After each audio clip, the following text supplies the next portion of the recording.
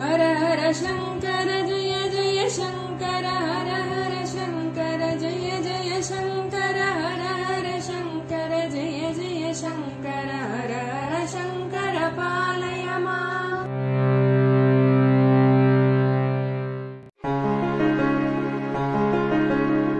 குறுகிய காலத்தில் நிறைந்த சேவையை வழங்கி வரும் மகாசங்கரா மேட்ரிமோனி சென்னையில் அடுத்த வரன்பதிவு நிகழ்ச்சியை நடத்தவுள்ளது. நாள் மே மாதம் இருபத்தி ஏழாம் தேதி சனிக்கிழமை. இடம் அயோத்தியா மண்டபம் எண் நாற்பத்தி ஏழு ஆரிய கோடாரோடு மேற்கு மாமலம்.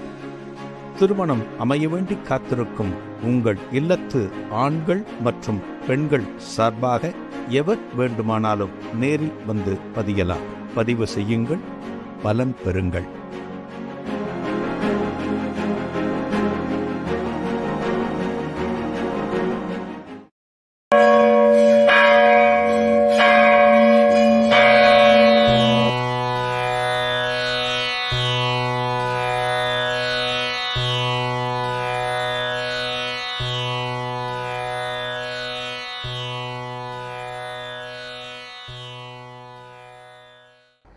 ஸ்ரீ குருபியோ நமக. ஓம் காஞ்சிவாசாய பத்மகே. சாந்தரூபாய திமகி. தன்னச்சந்திரசேகரேந்திர பிரச்சோதியாத். எல்லாருக்கும் நமஸ்காரம். மகாபரிவா மகிமை அனுபவத்தில் ஒரு மூதாட்டியை பற்றி நம்ம பார்க்குறோம். ஒரு பாட்டி. இந்த பாட்டி பெரியவா சன்னதிக்கு வந்திருக்கா அனுஷத்தன்னைக்கு வந்திருக்கா? பெரியவாட்ட சொல்லிருக்கா ஆற்றுல எங்காம் ஒழுகிறது பெரியவா? நீங்கள் தானே சீர் பண்ணி கொடுக்கணும் சரி பண்ணி கொடுக்கணும் அப்படிங்கிற. அதனால் அது பெரியவாட்ட வந்து வீடு சரி பண்ணி கொடுக்கணும்னு சொல்கிறாளே இங்கே இருக்கிறவாள்லாம் பார்க்குற. அப்போ தான் இந்த பாட்டியை பற்றி விசாரிக்கிற. இந்த பாட்டி பல வருடங்களுக்கு முன்னால் கல்யாணமான சில காலத்திலேயே தனது கணவனை பறிகொடுத்து அந்த சொத்துக்கள் அத்தனையும் இந்த பெண்மணிக்கு வருது. இந்த சொத்தை அபகரிக்க குடும்பத்தில் இருக்கிறவ அத்தனை பேரும் முயற்சி பண்ணுறா இந்த பணம் அத்தனையும் எப்படி காப்பாற்றுறது ஏன்னா விதிவசத்தால் இந்த பணம் வந்துடுத்து புருஷனுடைய பணம் புருஷனுடைய சொத்து அத்தனையும் இந்த பெண்மணி கையில் வந்துடுத்து இதை எப்படி காபந்து பண்ணுறது எப்படி பாதுகாக்கிறதுன்னு யோசிக்கிறேன் இப்போ இன்றைக்கில்னு வச்சுக்கோங்களேன் இந்த காலத்தில் அப்படின்னா ஒருத்தட்ட ஒரு அஞ்சு லட்சம் ரூபாய் இருக்குது ஒரு கஷ்டப்படுறவன்னு வச்சுக்கோங்க அஞ்சு லட்ச ரூபா சேகரிச்சிருக்காருன்னா அதை ஒரு பேங்க்கில் எஃப்டியில் போடலாம். அந்த பணத்தை ஒரு பாதுகாப்பான இடத்துல கொடுத்து அதில் வர வட்டியை வச்சுட்டு சாப்பிடலாம். இன்றைக்கி அந்த வசதிகள்லாம் இருக்குது அந்த காலத்தில் பார்த்தா இதெல்லாம் கிடையாது. பணத்தை வச்சுருந்தாலே ஆபத்து. பணம் கையில் இருந்தாலே ராத்திரி தூக்கம் வராது. அந்த பெண்மணி என்ன பண்ணுறாளாம் கல்யாணமாகி கணவனை பறிகொடுத்த பெண்மணி இந்த சொத்துக்கள் நம்மக்கிட்ட இருக்கிற வரைக்கும் தானே பிரச்சனை. இருக்கிற வரைக்கும் தானே எல்லாரும் நம்மக்கிட்ட ஓடி வருவா. எனக்கு கூட எனக்கு அதை கூட. நான் கஷ்டப்படுறேன். நீ எதுக்கு இவ்வளோ வச்சுட்டு சிரமப்படுற? உன் கூட நான் துணைக்கிருக்கேன். நான் உனக்கு என்ன தேவையை கவனிச்சுக்கிறேன்? இப்படி எல்லாரும் நம்மக்கிட்ட பேசின்னு இருக்கா?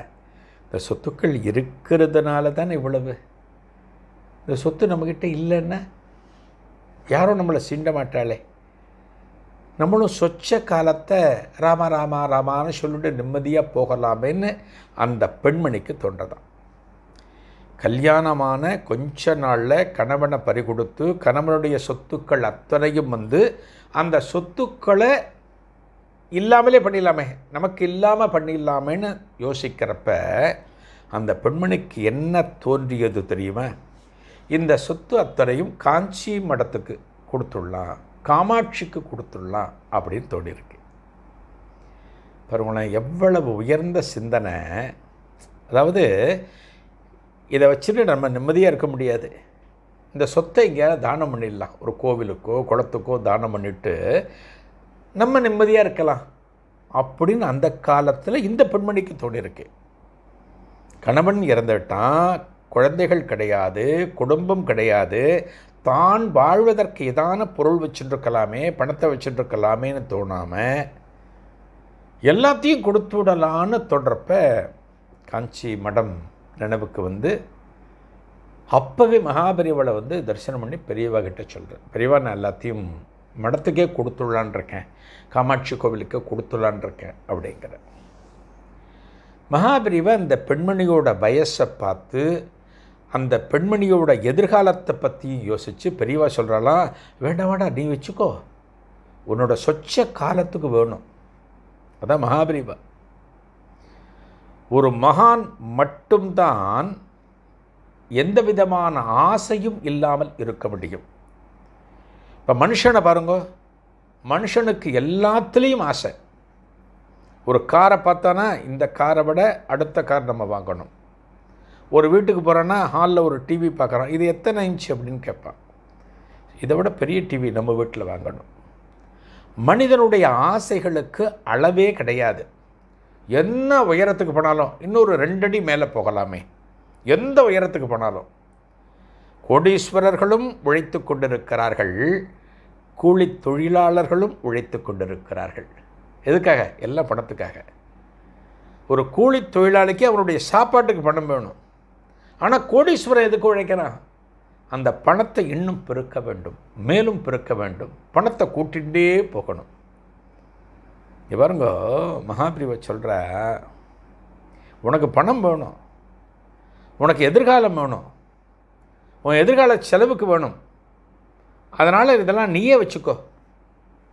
யாரான்னு சொல்லுவாள இன்றைக்கி ஒரு இடத்துல கொண்டு போய் ஒரு மடத்துலேயோ ஒரு கோவில் நிர்வாகத்துலேயோ கொண்டு போய் எங்கிட்ட இவ்வளவு சொத்துக்கள் இருக்குது இதை நான் இங்கே கொடுக்கலான் இருக்கேன்னு முதல்ல உட்காத்தி வச்சு என்ன சாப்பிட்றள் காஃபியாக கூல்ட்ரிங்க்ஸை என்ன சாப்பிட்றள் ஏசியை கொஞ்சம் நன்னா ஆன் பண்ணி வச்சு இன்றைக்கி அப்படி தான் பேசுவோம்.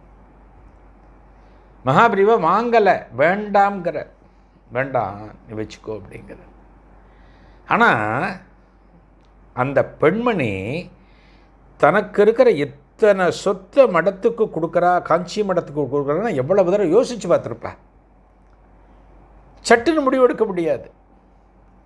ஒரு தான தர்மம் அப்படிங்கிறதெல்லாம் சட்டுன்னு முடிவெடுக்க மாட்டார் இல்லை பரவாயில்ல இது பண்ணலாம் இது கொடுக்கலாம். எல்லாம் தீர ஆலோசித்து தான் பண்ணுவேன் அந்த பெண்மணியும் அப்படி மனசுக்குள்ள பலவிதமான கேள்விகள் வந்து எல்லாவற்றுக்கும் பிறகு தான் இந்த சொத்துக்களை அப்படியே காஞ்சி மடத்தில் கொடுக்கலாம் பெரியவாட்டை கொடுக்கலான்னு அந்த பெண்மணியும் முடிவெடுத்திருக்கேன். ஆனால் மகாபிரிவா வாங்க மாட்டேங்கிற இந்த பெண்மணி சொல்கிறா ஸ்ட்ராங்காக நிற்கிற அந்த பெண்மணி. இல்லை பெரியவா என்னோட குடும்பமே காஞ்சி மடத்தினுடைய பக்தர்கள். நான் வந்த குடும்பம். எல்லாமே பெரியவா உங்களைத்தான் நாங்கள்லாம் பிரார்த்தனை பண்ணுறோம் உங்களைத்தான் நாங்கள்லாம் வணங்கின்னு இருக்கோம் எனக்கு காஞ்சி மடத்தை விட்டால் ஒன்றும் கிடையாது. இந்த சொத்துக்களை நான் வச்சுண்டு நான் பாதுகாக்கிறத விட எங்களுக்கெல்லாம் குருவாக இருக்கிற தெய்வமாக இருக்கிற நடமாடும் தெய்வமாக இருக்கிற உங்ககிட்ட கொடுக்குறதா முறை அப்படின்னு சொல்லிட்டு நான் என்னோட முடிவில் பின்வாங்க போகிறதில்ல பெரியவா. நான் எல்லாத்தையும் உங்கள்கிட்ட தான் மடத்துக்கு தான் கொடுக்க போகிறேன் அப்படிங்கிறேன். பெரியவா கேட்குறாளாம் மடத்துக்கு எல்லாத்தையும் கொடுத்துட்டு நீ என்ன பண்ண போகிற உனக்கு சொச்ச காலம் இருக்குல்ல. உனக்கு சொச்ச காலம் இருக்குல்ல வாழ்க்கை இருக்குல்ல. உன் கணவனோட விதி முடிஞ்சு போச்சு. உன்னோட விதி இன்னும் இருக்கு இல்லையா? நாட்கள் இருக்கு இல்லையா? வருடங்கள் இருக்கு இல்லையா? நீ என்ன பண்ண போகிற அப்படின்னு மகாபிரிவா கேட்கிறா. அந்த பெண்மணி என்ன சொன்னார் மகாபிரிவா கிட்ட நாளைய நிகழ்ச்சியில் இதன் தொடர்ச்சியை காணலாம். நன்றி. வணக்கம்.